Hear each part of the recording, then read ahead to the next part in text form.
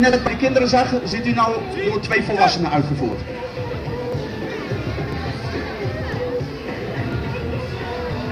Dit noemen wij Poemse-vormen. Dat zijn gewoon schijngevechten die volgens een vaste vorm worden uitgevoerd.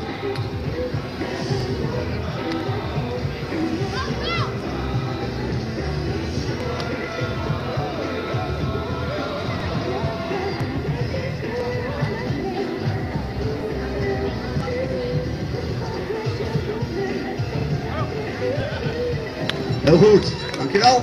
Habib en Alinde.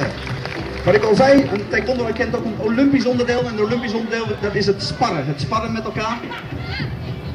En straks ziet u dat met een volle bescherming. En nu gaat u dat eerst even gewoon eens in een oefenvorm zien. Waarbij ze dus heel weinig contact maken. Maar vooral de technieken heel snel op elkaar afvuren.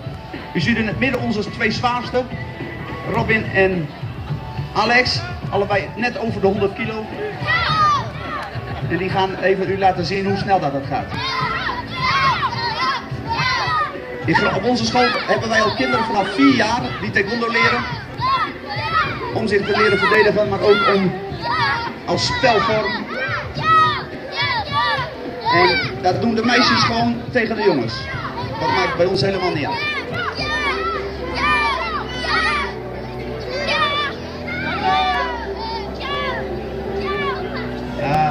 Robin die wil, nog niet, wil er nog niet van ophoren. Heel goed Robin en Alex, dankjewel. Oké, nu ziet u eenzelfde soort sparring uitgevoerd door Rosalie en Letitia. Die gaan dus hebben beschermende kledij aan, waardoor ze elkaar ook wat, wat kunnen raken bij het sparren.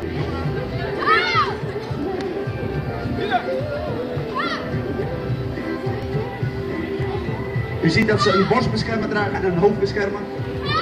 Ze schoppen deze keer niet naar het hoofd, gewoon op het lichaam. Maar bij deze sparringsonderdeel is het wel de bedoeling dat er geraakt wordt, anders kun je geen punten scoren.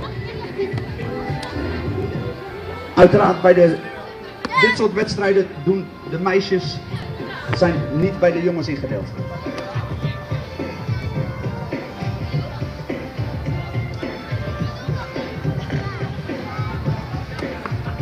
Je mag ze wel een beetje aanmoedigen hoor.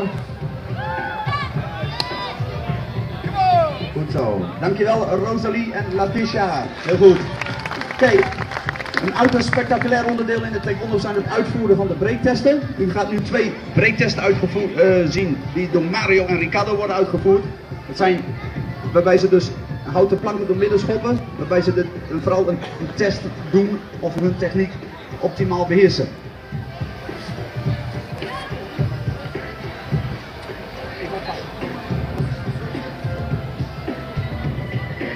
Mario gaat een combinatie uitvoeren van een armtechniek in de vorm van een elleboog plus een cirkeltrap.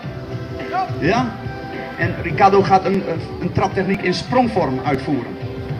Je ziet eerst Mario, elleboogtechniek en cirkeltrap. En dan komt Ricardo met een sprongtechniek.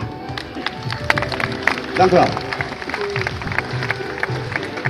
Goed.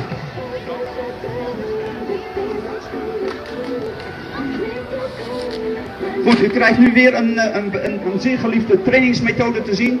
Deze keer met op een grote kussen uitgevoerd. Dat wordt gedaan door Henk en Ricardo.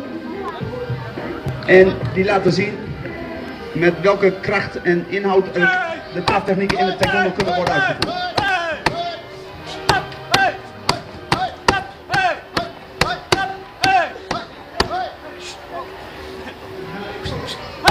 Cirkeltrap.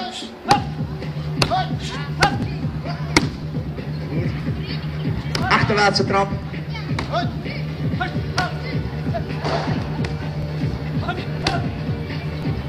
Heel goed, dankjewel. Breektest door Henk en Ricardo. U ziet, zag net al Mario en Ricardo.